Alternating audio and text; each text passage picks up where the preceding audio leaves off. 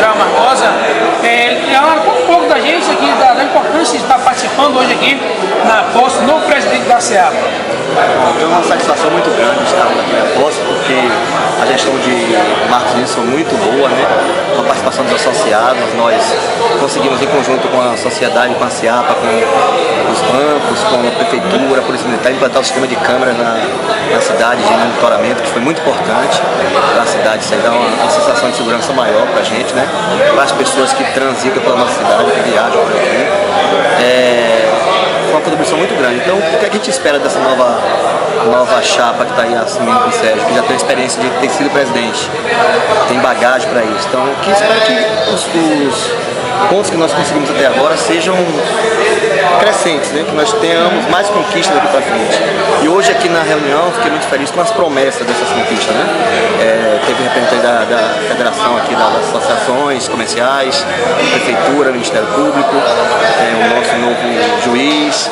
Então a cidade caminha para uma, uma segurança maior do que a gente estava vendo, aquela sensação de segurança que nós tínhamos. Então acho importante que a CIAPA venha a contribuir com isso aí, chamando os empresários locais para realmente participar mais da, das reuniões é, da CIAPA, né?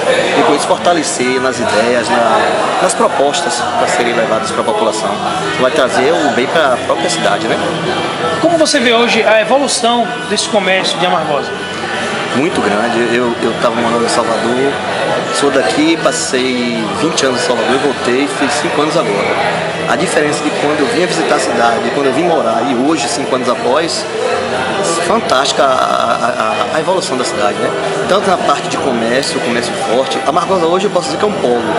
A Margosa é um polo dessas é dessa região toda aqui, que abrange Milagres, é Brejões, São Miguel, Santo Antônio. Santo Antônio já está mais a parte um polo de lá, a Margosa deixou de ser vinculada a Santo Antônio e hoje ela tem um polo próprio aqui. Então é, a, o fortalecimento é, parte muito dessas reuniões aqui de Aciapa, fortalecendo a associação comercial para trazer negócio para a cidade, prefeitura, essa parceria que a gente viu hoje aqui. Então isso aí é importante para fortalecer o comércio local. E hoje a Margosa, digo, é um polo comercial aqui na região, com as faculdades, com tudo que, que tenta ir para Margosa.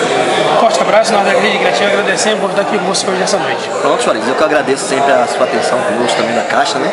E a Caixa está sempre aberta lá para a população, é o Banco do Povo, e agradecer a presença aqui.